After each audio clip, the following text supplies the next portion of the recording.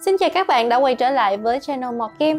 Tiếp tục với series cốt truyện Resident Evil, chúng ta sẽ tiếp bước chàng đặc vụ Chris tìm đến châu Phi để chống lại một âm mưu khủng bố sinh học do một kẻ thù không đội trời chung cầm đầu. Lần này, Chris không còn phải đơn độc dấn thân vào địa ngục nữa, mà bên cạnh anh là một nữ cộng sự đáng tin cậy Shiva. Vậy mối nguy hiểm sinh học này là gì? Liệu chúng có nguy hiểm như Blast Lagas hay không? Chúng ta hãy cùng theo dõi cốt truyện Resident Evil 5 với tựa đề Giả Tâm của Wesker. Nào, chúng ta cùng bắt đầu thôi. Sau sự kiện kinh hoàng tại dinh thự Spencer năm 1998, Chris Redfield tự thề với bản thân rằng anh sẽ truy lùng và triệt hạ tổ chức Umbrella bằng bất cứ giá nào. Có thể xem anh đã thành công một phần nào đó. Tuy nhiên, sau sự sụp đổ của Umbrella là sự trỗi dậy của những tập đoàn nghiên cứu vũ khí sinh học khác. Chris giờ đây là thành viên của BSAA, được cử đến châu Phi để điều tra về các vụ buôn lậu vũ khí sinh học ở đây. Trên đường đến khu tự trị Kijuju, Chris gặp được cộng sự của mình ở châu Phi là Seva Aloma, thành viên của BSAA phân khu châu Phi. Cả hai người nhận được chỉ thị gặp đội Alpha của BSAA tại Kijuju để ngăn chặn một tên buôn lậu vũ khí sinh học là Ricardo Irvin. Khi vừa đến thành phố, cả hai phát hiện ra cư dân ở đây có gì đó khác lạ. Trên thực tế, toàn bộ cư dân trong thành phố đều bị nhiễm virus Flagas type 2 và sẵn sàng tấn công họ bất cứ lúc nào. Chris và Seva gặp được người liên hệ cho chiến dịch và trang bị đầy đủ vũ khí.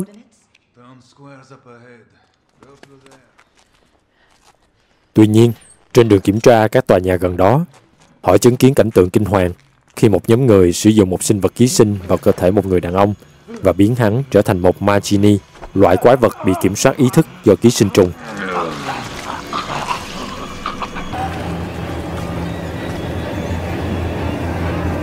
Ngay lập tức, tình hình trở nên mất kiểm soát và cả hai đặc vụ bị các cư dân ở đây tấn công trước khi chứng kiến chúng xử tử người cung cấp vũ khí trước đó.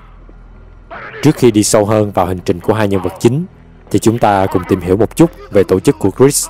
BSAA là từ viết tắt của Bioterrorism Security Assessment Alliance, Liên minh đánh giá và phòng vệ chống vũ khí sinh hóa. Đây là một tổ chức quốc tế được thành lập bởi Liên đoàn các công ty dược phẩm theo yêu cầu của chính phủ Hoa Kỳ nhằm ngăn chặn, truy tìm và tiêu diệt các tổ chức cá nhân phát triển các loại vũ khí sinh học với mục đích tấn công con người. Các thành viên sáng lập của BSAA là Chris Redfield, Jill Valentine và Clyde R. O'Brien. BSAA có trụ sở tại Anh và các chi nhánh khác tại châu Âu, châu Mỹ và châu Phi.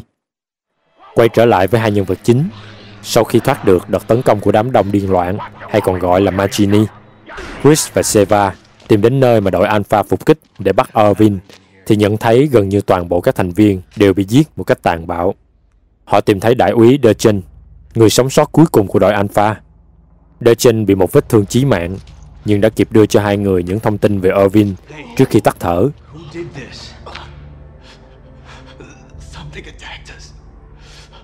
Irvin. He got away. It was a setup. A setup? Is this? It's data regarding the deal. I downloaded it from their computer. Oh, you gotta get it to HQ. Lần theo dấu vết của gã đàn ông kia, họ đi xuống một đường hầm dưới đất và chạm trán với một sinh vật gớm ghiếc, giống như có hàng vạn con đĩa màu đen. Chúng cuốn lấy một cái xác dùng là bộ khung xương để có thể thoải mái di chuyển và tấn công con mồi. Chưa kể đến việc máu và thịt từ xác chết cung cấp thêm năng lượng cho chúng. Theo lời Dechan, thì đây là thủ phạm đã tiêu diệt đội Alpha. I think that's what got Alpha Team.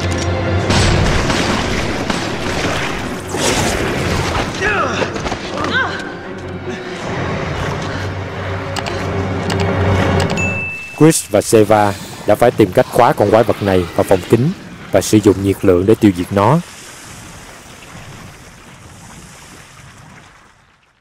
Cả hai tiếp tục tìm đến trạm dừng chân để truyền dữ liệu về Irvin và tình hình của thành phố cho trung tâm BSAA. Không lâu sau đó, cả hai được George Stone, đội trưởng đội Delta của BSAA tại Tây Phi cứu thoát khi đang giao chiến với một nhóm Machini. Sau khi đến nơi an toàn, George cho Chris xem một số dữ liệu họ vừa tìm thấy.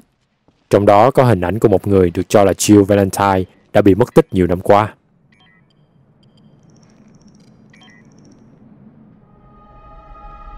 Jill.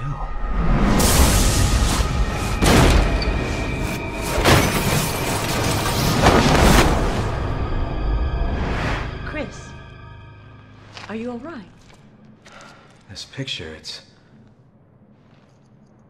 Forget it. It's nothing. Let's move out. Chris và Seva sau đó tiếp tục đi tìm Irvin. Theo như thông tin, hắn hiện đang ở một khu mỏ bỏ hoang cách đó không xa.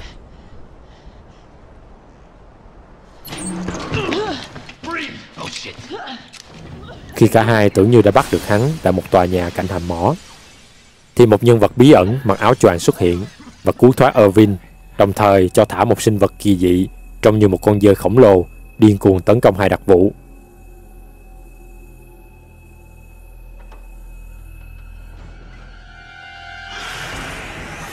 Đây là vũ khí sinh học với tên gọi Popokarimu. Đây có lẽ là kết quả của việc cấy ghép gen được thực hiện dưới dơi và nhộng tầm. Toàn bộ cơ thể của nó cực kỳ cứng cáp, đạn khó mà xuyên thủng. Chỉ duy nhất phần bụng nằm ở dưới đuôi của nó dễ bị tổn thương nhất.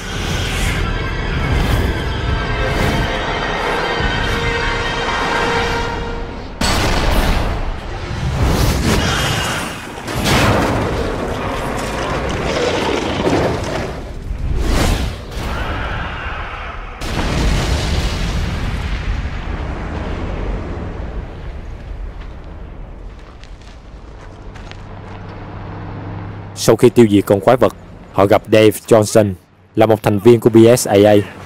Dave đưa Chris và Seva đi xuyên qua sa mạc để hội quân cùng đội Delta. Đồng thời trên đường đi, họ cũng bị tấn công bởi một nhóm Machini hung hăng. Cả nhóm đã phải chống trả rất ác liệt và cuối cùng cũng cắt đuôi được nhóm Machini.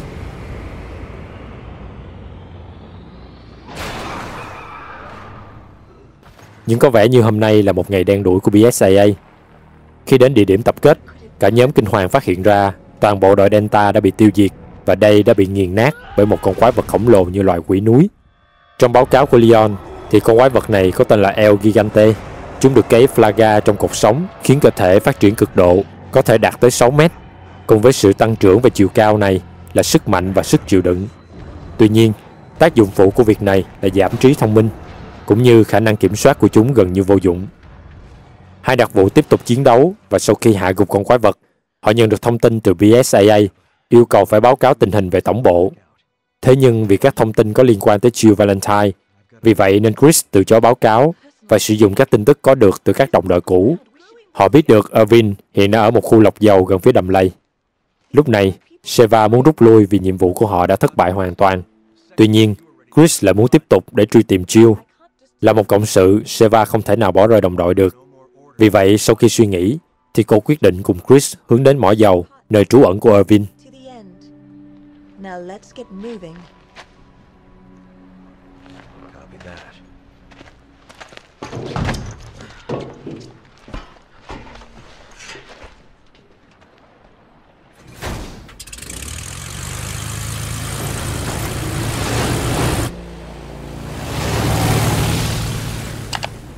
Trên đường đi, Chris tâm sự cho Seva nghe về câu chuyện của Jill Valentine.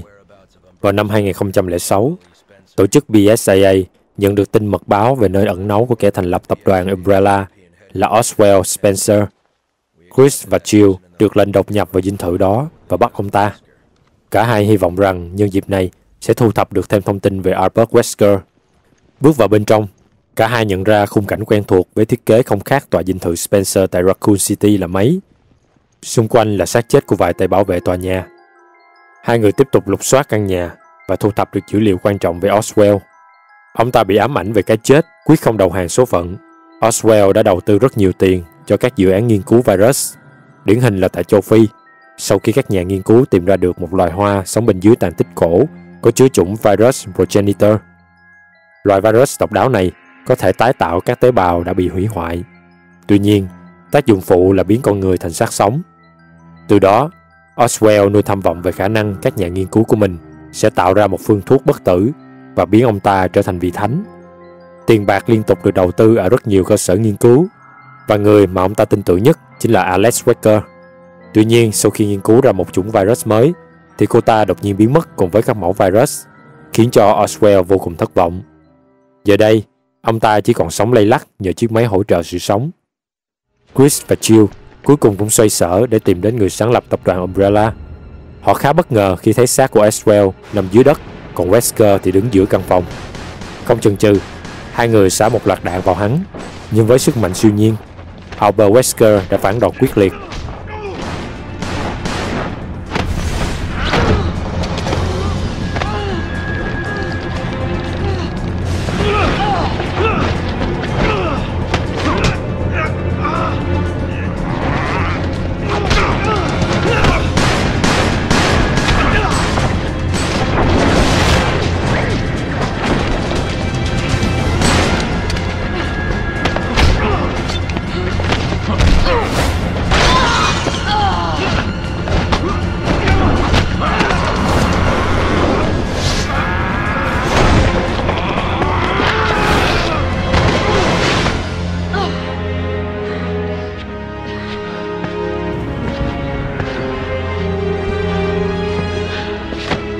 Trong lúc Wesker chuẩn bị kết liễu Chris, thì Jill buộc phải hy sinh để để Albert cùng lao xuống vực với mình. Chính vì vậy mà thông tin về Jill đến giờ vẫn còn là một bí ẩn, vì Chris không thể tìm thấy xác của cô, nên chưa thể xác nhận được là Jill còn sống hay đã chết. Nhưng sau sự kiện đó đã gây cho Chris một nỗi ám ảnh về sự mất tích của Jill. Đồng thời lúc này, Seva cũng cho Chris biết chuyện lý do tại sao cô lại gia nhập tổ chức chống khủng bố sinh học Cô lớn lên ở khu vực Tây Phi, có liên quan đến các chiến binh du kích hoạt động chống lại chính phủ quốc gia. Khoảng 80% dân số của thị trấn làm việc tại nhà máy số 57 của Umbrella, trong đó có cả bố mẹ của cô. Nhờ đó mà cuộc sống gia đình của tất cả mọi người không đến nỗi khốn khổ. Vào khoảng năm 1994, khi Seva chỉ mới 8 tuổi, nhà máy Umbrella đã gặp sự cố khi một trong những vũ khí sinh học thoát ra ngoài gây nên cái chết của hàng loạt công nhân tại đây. Một đội đặc nhiệm phản ứng nhanh của Umbrella được cử đến để xử lý và phá hủy nhà máy. Chưa hết, họ còn tàn sát toàn bộ ngôi làng để bịt đầu mối. Chỉ duy nhất Seva sống sót sau cuộc tấn công. Cô được chú của mình cu mang, nhưng sau đó cô bỏ trốn và gia nhập vào đội quân du kích Guerrilla. Những người đó tin rằng sự cố tại nhà máy Umbrella là do tập đoàn kia muốn thử nghiệm sức mạnh của một loại vũ khí sinh học mới và những con người làm việc ở đó vô tình trở thành vật thí nghiệm cho những con quái vật khát máu. Kể từ đó, Seva căm hận tập đoàn Umbrella đến tận xương tủy và kể cả những thứ vũ khí sinh học của bọn chúng nữa. 7 năm sau, Seva được một đặc vụ chính phủ tiếp cận và tiết lộ rằng nhóm du kích mà cô đang sống cùng đang có kế hoạch mua vũ khí sinh học từ Umbrella để chống lại chính phủ. Gã đặc vụ người Mỹ khuyên cô giao cho họ bằng chứng về giao kèo giữa Gorilla và Umbrella. Đổi lại, cô sẽ được cung cấp một hộ chiếu mới và sống tại Hoa Kỳ. Seva thích nghi với cuộc sống ở Hoa Kỳ một cách nhanh chóng và thông thạo tiếng Anh trong vòng 6 tháng Hai năm sau, Seva đăng ký vào một trường đại học và sau khi vượt qua, được tuyển thẳng vào BSAA, một tổ chức chống khủng bố sinh học. Seva được giao cho đơn vị của George Stone trong 8 tháng để huấn luyện. Sau khi hoàn thành khóa đào tạo của mình, BSAA đã chọn cô trở thành một đặc vụ do có kinh nghiệm trước đây trong việc xâm nhập buôn lậu tài liệu cho quân du kích. Khi đến khu vực đầm lầy, Chris và Seva đụng độ một bộ lạc thổ dân tại ngôi làng Sodibeya Cả hai lại phải chiến đấu chống lại một nhóm Machini. Có khác là lần này, các Machini bị nhiễm virus Flagas Type 3. Theo như thông tin để lại, thì chủng virus này ký sinh trên vật chủ sẽ làm con người có sức mạnh siêu việt hơn các chủng trước đây và vẫn giữ được ý thức. Sau khi thoát khỏi ngôi làng, họ đi đến một khu vực triền núi và phát hiện ra một vài chiếc lều quân dụng có logo của một tổ chức tên là Tricell. Và một vài tư liệu còn sót lại tại khu vực thì Tricell chính là thủ phạm gieo rắc virus tại khu vực này. Theo thông tin tìm được thì ký sinh trùng mà người dân tại châu Phi nhiễm cùng là một dạng Las Plagas mà Leon đã đụng độ tại châu Âu. Sau khi Ada cướp được mẫu vật đặc biệt và đem về cho Wesker, hắn liên kết với tổ chức Tricell để phát triển mẫu ký sinh này lên một tầm cao mới, chính là Flagas Type 2. Vì dạng ký sinh trùng Flagas gốc cần phải tìm cách xâm nhập vào vật chủ ở dạng trứng và được dành thời gian để phát triển bên trong vật chủ. Điều này được chứng minh rõ nhất ở Leon Kennedy, người đã phá hỏng kế hoạch thống trị thế giới của Osmund Sattler và của Ashley Graham. Mặc dù cả hai đã bị tiêm trứng Plagas, cuối cùng họ đã có thể loại bỏ nó ra khỏi người plagas Type 2 được phát triển để loại bỏ nhược điểm trên bằng cách nuôi dưỡng nó trong cơ thể vật chủ. Sau đó, nó sẽ tự động sinh sôi trong cơ thể đó cho đến thời điểm thích hợp. Chỉ cần lấy một trong số chúng ra và cấy vào nạn nhân qua đường miệng. Lúc này, ký sinh khoét sâu vào thực quản và tìm cách đi đến tủy não. Sau cùng là phần lõi xương sống. Một khi ký sinh làm chủ được hệ thần kinh trung ương, thì vật chủ hoàn toàn bị kiểm soát. Theo cách này, tốc độ tăng trưởng đã tăng mạnh và vật chủ nằm dưới sự kiểm soát hoàn toàn của Flaga chỉ trong vài giây, đúng như mục đích của Tricell. Sau khi bị kiểm soát, vật chủ được hướng dẫn để giết và lây nhiễm cho người khác, hoặc có thể sinh hoạt bình thường như một con người để ngụy trang. Quá trình sinh trưởng được chia thành nhiều giai đoạn. Đầu tiên là dạng ấu trùng. Ở giai đoạn này, nếu vật chủ bị tổn thương thì ấu trùng sẽ lộ ra ngoài với hai cách khác nhau là từ miệng hoặc chui ra từ cổ nếu vật chủ bị hủy hoại vùng đầu. Tuy vậy, đây là lúc mà ký sinh Flagas yếu nhất, vì nếu vật chủ chết, ký sinh sẽ không đủ mạnh để tự điều khiển cơ thể, cũng như khả năng chịu đựng tổn thương của ấu trùng không cao. Kế đến là hai loại trưởng thành hoàn chỉnh như Cephalo. Ở dạng này, ký sinh trùng có thể chui một phần thân thể của chúng ra khỏi vật chủ để tấn công nạn nhân, và lúc này, chúng đủ mạnh để điều khiển cơ thể vật chủ. Cho dù có xảy ra bất cứ tổn thương nào trên cơ thể vật chủ, thì chúng vẫn tiếp tục tồn tại. Kế đến là loại Kipepel. Khi vật chủ sắp chết, chúng sẽ chui toàn bộ ra khỏi cơ thể cùng với đôi cánh để có thể tấn công con mồi ở trên không trung. Dường như kết quả như vậy vẫn chưa đủ đối với tập đoàn Tricell. Họ tiếp tục nghiên cứu để phát triển một dạng cao cấp hơn là Flagas Type 3. Nó được tạo ra để tăng cường khả năng vật lý đáng kể so với Type 2, cũng như hỗ trợ việc dung hòa giữa ký sinh và vật chủ tốt hơn. Vì mục đích cuối cùng là tạo ra dạng siêu chiến binh có đầy đủ sức mạnh mà vật chủ không hoàn toàn bị kiểm soát bởi ký sinh. Về cơ bản, các nhà nghiên cứu sử dụng gen của loài Dominant Species Flagas để phát triển. Tuy nhiên, những lần thí nghiệm vẫn thất bại vì mức độ đồng hóa không như mong đợi. Nếu ở nam giới thì khả năng đồng hóa có thể lên đến 92%, nhưng còn nữ hoặc trẻ em thì hầu như vật chủ đều bị tử vong. Mặc dù thất bại trong việc tạo ra siêu chiến binh, thì Tricell lại tạo ra được vài chủng loại kỳ dị khác như Giant Machini. Nhờ vài thay đổi trong cấu trúc gen của ký sinh đã khiến cho vật chủ trở nên phát triển về thể chất cũng như sức chịu đựng rất nhiều. Sau đó là chủng quái vật với cái tên Duvalia. Dạng Flaga trưởng thành này có thể phá nát toàn bộ phần trên của vật chủ để lộ ra ngoài một thân thể kỳ dị với từng tảng xương to lớn bao bọc lấy phần trọng yếu giữa cơ thể. Quay trở lại với nhân vật chính, Chris và Seva nhanh chóng đến khu lọc dầu. Tại đây, họ gặp Josh Stone cũng đang truy đuổi theo Irvin. Josh đang bị thương và yêu cầu mọi người phải rút lui khỏi chiến dịch. Cuộc nói chuyện chưa được bao lâu thì họ lại bị một toán Machini mai phục. Cả nhóm phải chiến đấu và rút lui đến cầu cảng. Tại đây, họ chạm trán tên lái buôn Irvin và nhân vật áo choàng bí ẩn. Irvin trốn thoát trên một chiếc tàu, đồng thời dùng Chris và Seva lại tại khu lọc dầu, vốn đã được gài bơm hẹn giờ. Không đầu hàng trước số phận, Josh nhanh tay chiếm được một chiếc xuồng và cả ba tiếp tục đuổi theo Irvin. Sau khi đuổi kịp chiếc thuyền, nhóm BSAA khống chế được Irvin, bị dồn vào chân tường. Irvin đã tự tiêm vào người một chủng Dominant Species Plagas, biến hắn trở thành một con thủy quái khổng lồ.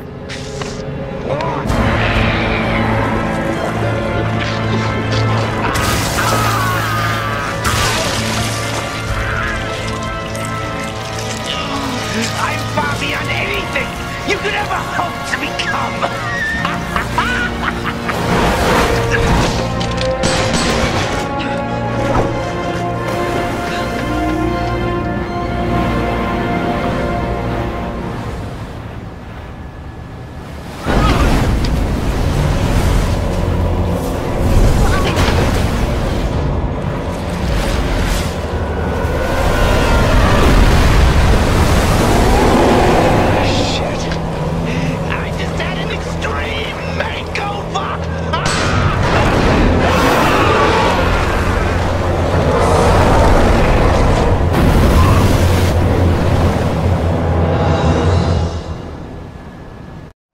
Chris và Seva tận dụng hai khẩu súng máy trên tàu để tiêu diệt hắn.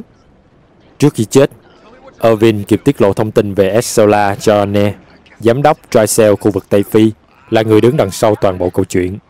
Đồng thời nói với Chris về một hang động ở gần đó, nơi Chris có thể tìm thấy mọi câu trả lời mà anh đang tìm kiếm. Chúng ta hãy tìm hiểu một chút về nhân vật phản diện Ricardo Irvin này trước khi tiếp bước cuộc hành trình nhé.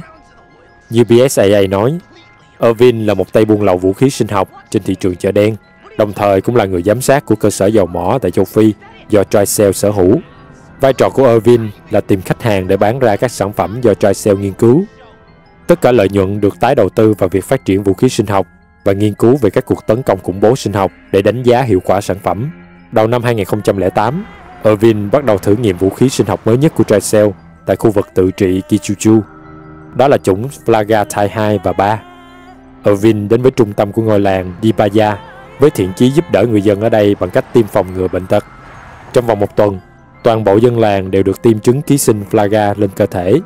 Tricell nhanh chóng phát hiện kế hoạch của BSAA đến để bắt Irvin, nên họ đã lên kế hoạch đón tiếp đội BSAA bằng cách gài bẫy tại nhà kho, cùng với con quái vật được tạo ra bởi virus Uroboros. Tuy vậy, kế hoạch vẫn không hoàn toàn thành công. Chris cùng Seva đã may mắn sống sót và thu thập được dữ liệu để tiếp tục truy lùng hắn. Lần lượt, mọi kế hoạch tiêu diệt hai đặc vụ thất bại liên tiếp. Irvin tự hiểu rằng thất bại của hắn đồng nghĩa với cái chết. Vì vậy, không còn lựa chọn nào khác. Hắn đã tự tiêm Dominant Species Flaga vào người và trở thành con thủy quái. Nhưng cho dù có cố gắng thế nào đi chăng nữa, thì Irvin vẫn chết dưới tay của hai đặc vụ dày dặn kinh nghiệm. Cảm ơn các bạn đã theo dõi video của Mò Kim. Các bạn đừng quên like để ủng hộ bọn mình và subscribe để nhận được những thông báo khi bọn mình upload những video tiếp theo nhé. Một subscribe của các bạn sẽ giúp bọn mình có thêm kinh phí làm tiếp các video để đem đến những thông tin bổ ích dành cho game thủ đó. Ngoài ra, nếu các bạn muốn trao đổi về game hoặc có yêu cầu nào cho những video tiếp theo, các bạn có thể like fanpage Mọt Game và tham gia group gia đình nhà Mọt Game của bọn mình nhé. Còn bây giờ thì xin chào và hẹn gặp lại các bạn trong các video tiếp theo.